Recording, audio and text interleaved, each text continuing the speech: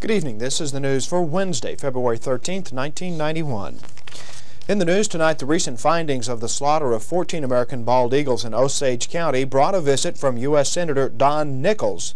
The senator visited the Sutton Avian Research Center yesterday to tour the local facility and offer some assistance. Nickles serves on the Congressional Appropriations Subcommittee in charge of funding projects for endangered species and he promised to work toward obtaining federal funding for the research center operations after seeing the facilities in action. The Oklahoma Republican was given a tour of the uh, and some private tutoring in the raising of a baby eagle. Now, the center's executive director, Dr. Steve Sherrod, said they now operate entirely on private donations.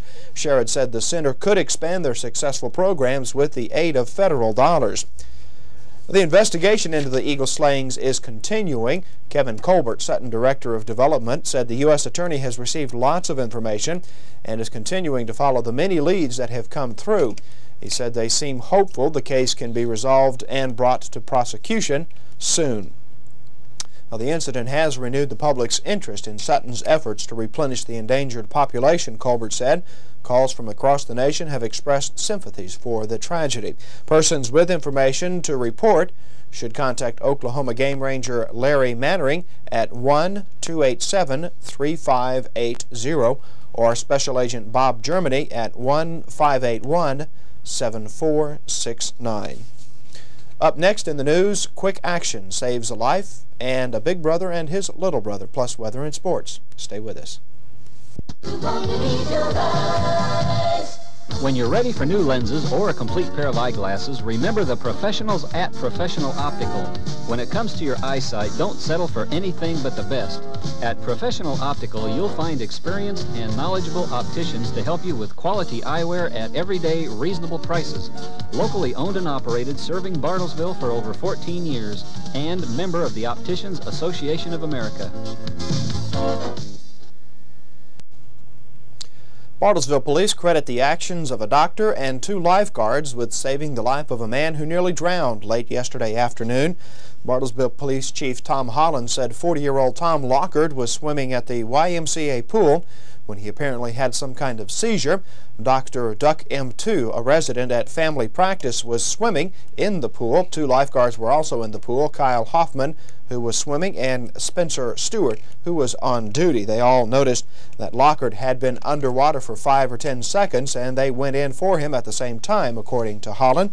The police chief said when Lockard was removed from the pool, he was blue and was having difficulty breathing. Two began trying to remove the water from Lockard's mouth before rescue teams arrived. Lockard was given oxygen and taken to Jane Phillips Hospital. He was listed in serious condition this morning in the hospital's intensive care unit. Lockard was being treated for breathing difficulties, a hospital spokesman said. Holland said that the three men are heroes. He said if they hadn't pulled him out of the, uh, out of the water in another five or ten seconds, that he would have died. The Big Brothers Big Sisters annual fundraiser Bowl for Kids' Sake will be held Saturday, February 23rd to raise money for the local program. Now, last night we talked with the chairman of this year's event, Dick Gooley. He told us what the bowling event is all about and how we can participate by pledging for a specific bowler. Tonight, we'll introduce you to a big brother, Jeff Waters, and his little brother, Jason Krim. Jeff and Jason have been matched since last May and they enjoy a variety of outdoor activities together. Jeff tells us how he got involved with Big Brothers Big Sisters and what he went through to become a big brother. Well, I heard about the program back when I was in high school, and I thought it was a really good organization. And uh, later on, I got involved in it, and I thought with the schedule that I work at work, I have a lot of free time, and I felt like I could put that free time to good use. It's uh, meant a lot to me. You know, uh, not only did I am I helping him out, but I've got a friend, you know, through him and his family. Uh, we went through a screening program. They uh, have a big, thick page full of, or pages full of questions. Uh, we go over each one, and if there's any questions, they come back and ask you a little bit to clarify on it. They uh, did a police record check on me, and then they presented the uh, information that I gave them to the board, and from there they either accepted me or denied me, one or the other. And it took uh, about, I'd say, two and a half, three weeks to from the time I said that I wanted to be a big brother to the time that I was said, fine, you're a big brother now, and then we had to uh, go through matching them. You know, we talked about different childs, and uh, finally came up with a real good match, I think. The actual matching took about a week and a half from what I remember, and we discussed two or three different children, and they took what I had, you know, in my background, what I enjoyed doing, and they have a, uh, on file the kids what they like to do, and we talked about it, and they matched us up on basically what we like to do, and uh, we had a lot in common. Jason talked about what it's like to be a little brother. Well, it's, it's fun to be a little brother because we do a bunch of stuff together and mm, I like to go out to the lakes and go mm, play with his dogs and Jason admitted he was a little nervous when he first met Jeff, but he added he was very happy to have a big brother. Jason and Jeff will be bowling in the upcoming event, and they're making it a fun activity together to collect pledges for their bowling efforts. Jason said he didn't know if he'd beat Jeff when bowling, but he sure would have fun at it, and that's what it's all about, isn't it? Now, tomorrow night, we'll visit with Charlene Dew, program coordinator of the local Big Brothers Big Sisters, and hear how this event helps with the local effort. Turning to the weather, today's high 65 degrees, morning low of 45. A trace of precipitation as of 7 o'clock this morning, and that's the February total so far. Normal for the month 1.45 inches. Pollen today at 3,704. In the forecast for tonight from the National Weather Service, fair and colder. Low will be in the low 30s. Tomorrow night will, or rather tomorrow, will be sunny and colder, or rather cooler. The high will be near 50. In Cable 30 Sports, the local high schools had a perfect night last night as both boys and girls teams from Bartlesville and Dewey came away with victories. Bartlesville was at home hosting Owasso. The girls finally snapped out of their three-game losing streak with tough defense, good rebounding, better shooting, and a deep bench. Bruin basketball is what they call that. The Lady Bruins beat Owasso 55-45 as Yogi York scored 16 for Bartlesville. The boys dominated the Rams early and went on to blow out the visitors in the BHS Fieldhouse 78 to 50. Mike Ellison and Tommy DeSalm top Bruin scores with 14 points each. In all, Bartlesville had 13 of the 15 who played reach the scoring column. The boys will host Jenks in their next to last conference game tomorrow night. And then both the boys and girls will complete their Frontier Conference schedule Friday in Stillwater. In Dewey, it was a regular season ending contest for the girls and the boys. The girls had a bit easier time against Caney Valley than in their last meeting when they needed a basket at the buzzer to beat the Trojans. Last night, a strong second and third quarter led the Doggers to their 51-39 win. Jill Davis led Dewey scores with 27 points. Now for the boys, Dewey's built up a 15-point first half lead and that helped them claim the victory over Caney Valley 83 to 76. Carl Wood Dewey scores with 20 while Brad Woodard and Kevin Carey each added 19. Bartlesville Wesleyan College men suffered a 117 to 77 defeat at the hands of Langston last night. Myron Milton led the Eagles in their their losing effort with 19 points. BWC travels to play Oral Roberts next, and that'll be this Saturday in Tulsa. Other scores from yesterday: the junior varsity girls ended their season with a win over Owasso, 38 to 35 in overtime. And the girls finished at 11 and 5 on the years. The Central Middle School boys finished their year with a 54-44 loss to Broken Arrow Sequoia. This in the quarterfinals of the Ark Valley Conference tournament. The boys in the season at 5 and 8. And finally, Scott South of the Phillips 66 Gymnastics Club won first in every event at last weekend's Gymnastics Center's Invitational. South captured first in six events as well as the all-around of the elite division. Now in Class 2 competition, the Phillips team finished first. Mickey Johnson helped lead the way with a first place on the parallel bars, while teammate Kevin Burgess starred with a first in the all-around. And Nathan Hicks was first in all-around in Class 2C. That's our report for this evening. Thank you for joining us. Stay tuned for Bartlesville School Update with Superintendent of Schools Dr. Gary Toothaker next. For Cable 30 News, I'm Phil Evans. Good night.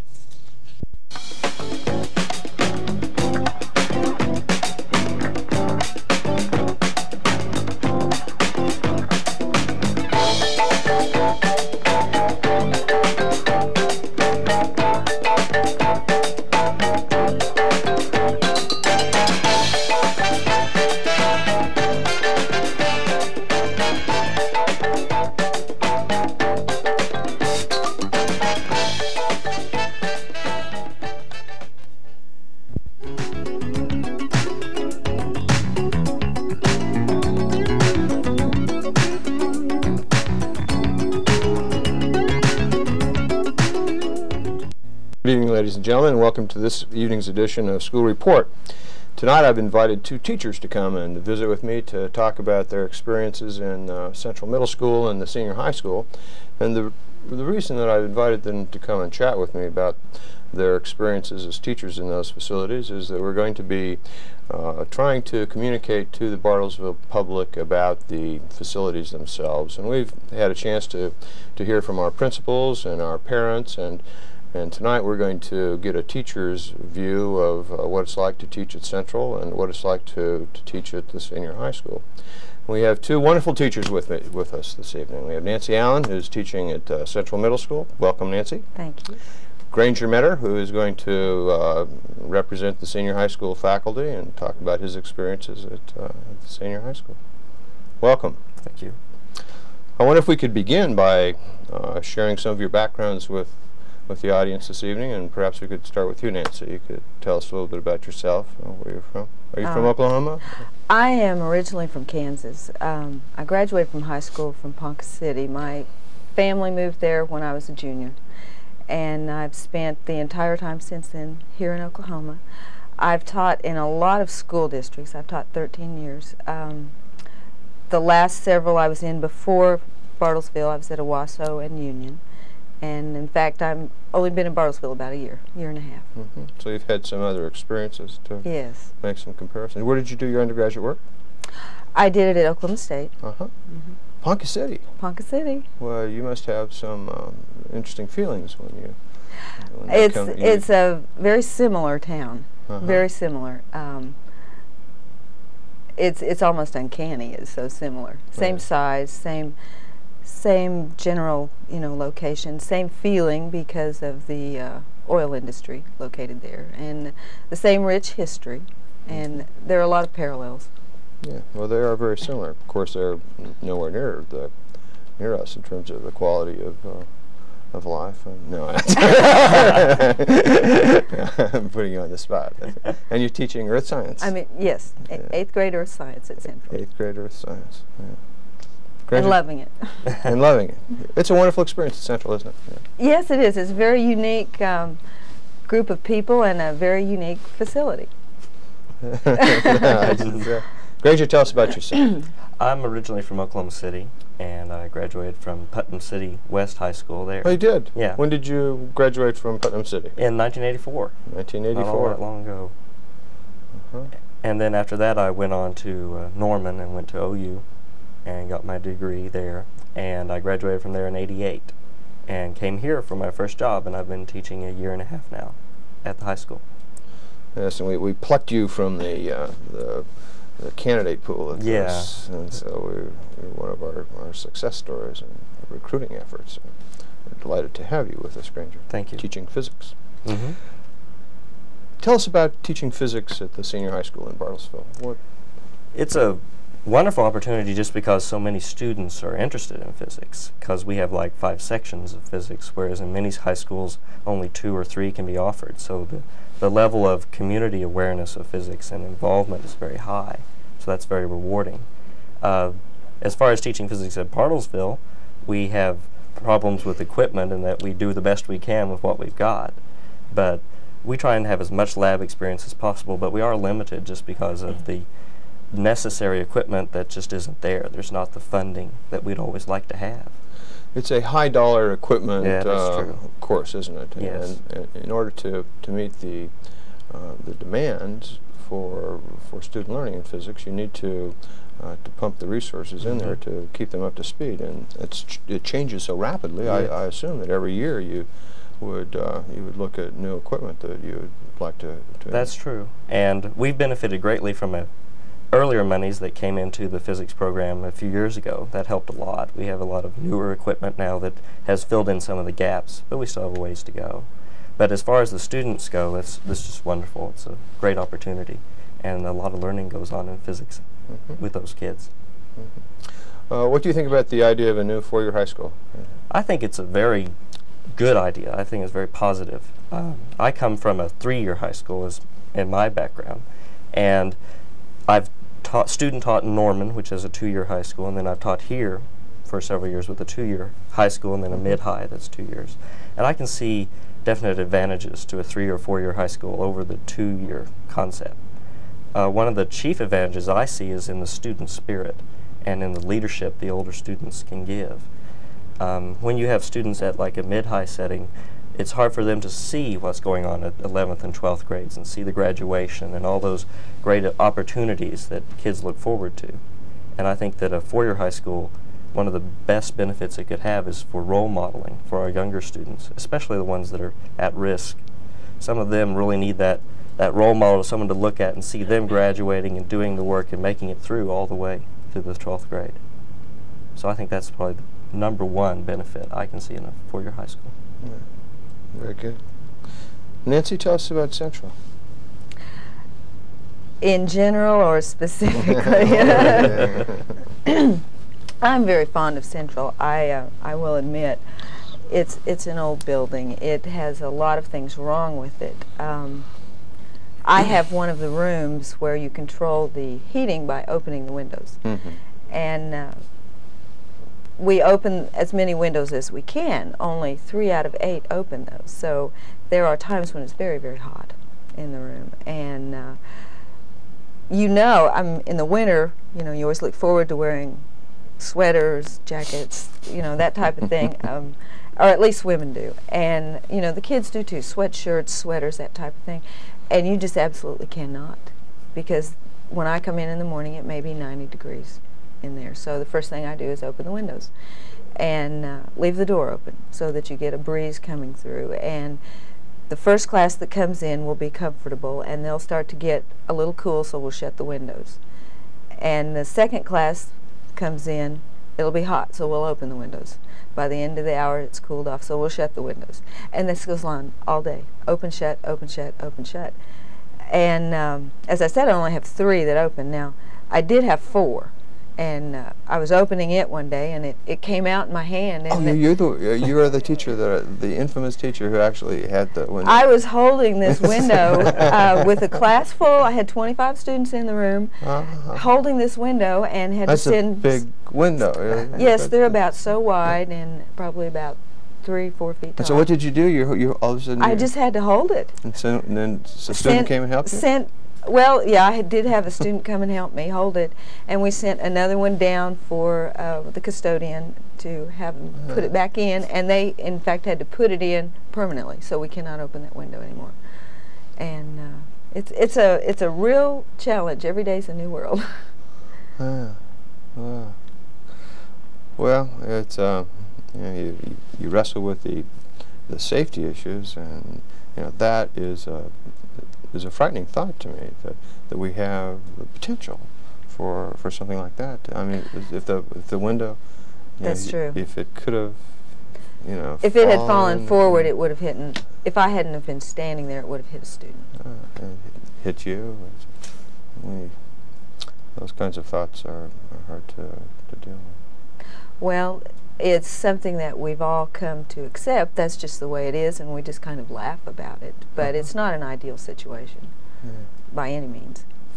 And What do you think about the proposal to move uh, the central students to the uh, senior high school? And to Well, I think that there needs to be a change made, and um, the the high school would certainly be an improvement over Central. Um, as as far as you know, the building being ideally suited for us, uh, I'm not sure it is because of the cafeteria. Yeah, cafeteria. it's just not true. I mean, it, it's not ideal. But it is an improvement over Central, Then- which is what we have to look at. I think that, that that's an important point because uh, if I were on the central part of the central community, I would I would worry about the fact that I'm in the worst facility. You know, right now, if you rank order the quality of facilities in the Bartlesville schools, Central would be would rank order at the bottom and be be last. And then I would look at this proposal and then I would see that we're going to construct a new high school and we're going to uh, make movements uh, from uh, mid-high and Hoover to Madison and uh, and then uh, we would we would move to the senior high school. In the new world, when the plan is complete, uh, construction is complete in two years, I would then think, well, in ranking the quality of facilities in the new world of Bartlesville schools, I would still be at the bottom. and I think that that, that thought would uh, would would be be something that wouldn't be as appealing to me if I were a central person and mostly interested in the quality of facilities at Central. I think that that that would make that less appealing than an alternative that would uh, end up with that rank order improvement uh, in in the new world.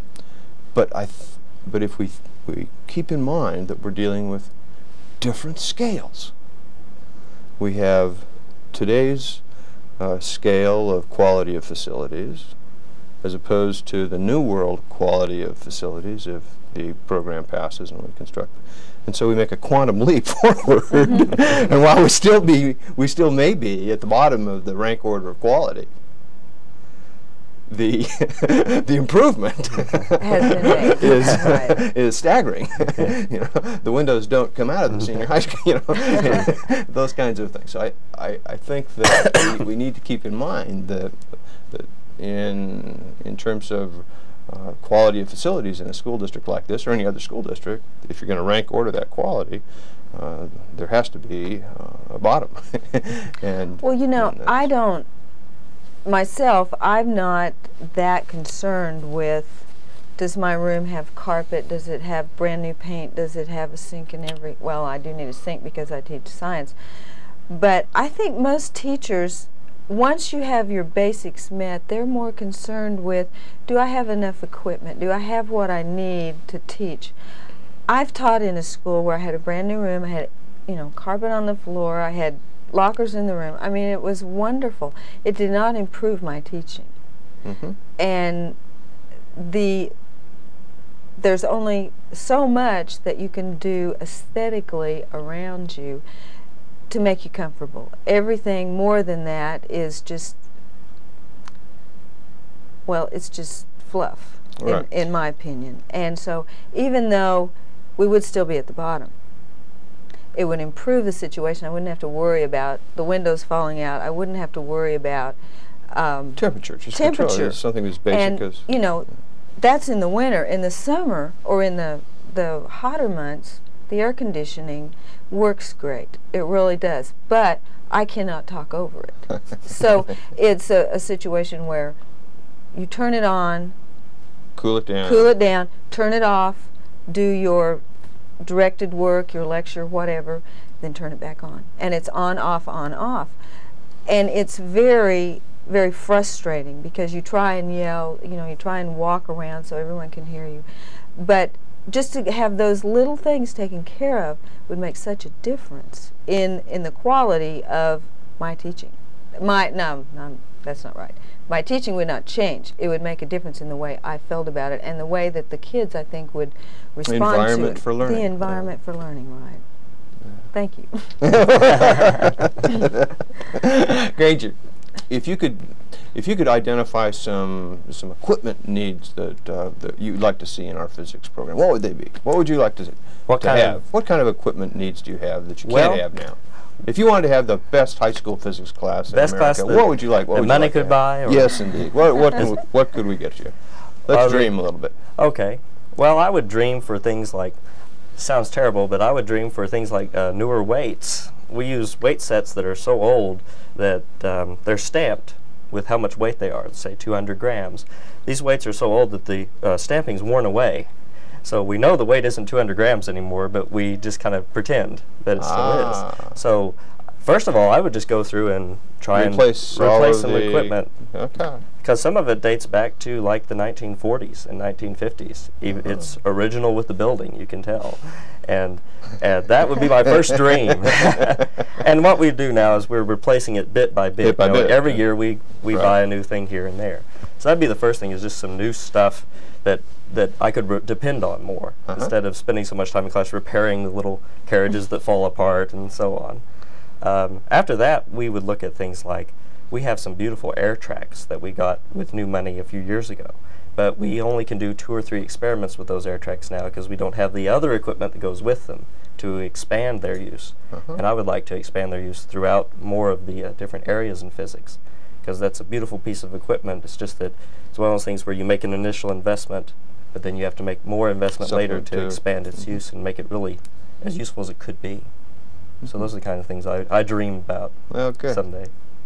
Well, I think that uh, that those are within reach, and uh, and we'll hope that there will be an accelerated uh, uh, path to to accomplish that. And I think that with the um, with the passage of a bond issue to deal with our facilities and equipment, Mhm.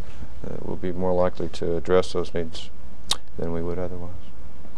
I want to thank both of you for coming and spending some time with me this evening. It's been a pleasure to Oh, get your your view of uh, of the world at Central and the senior high school. We're fortunate to have you as teachers here. Thank you. thank you very much. Good evening, ladies and gentlemen, and thank you so much for spending some time with us this evening.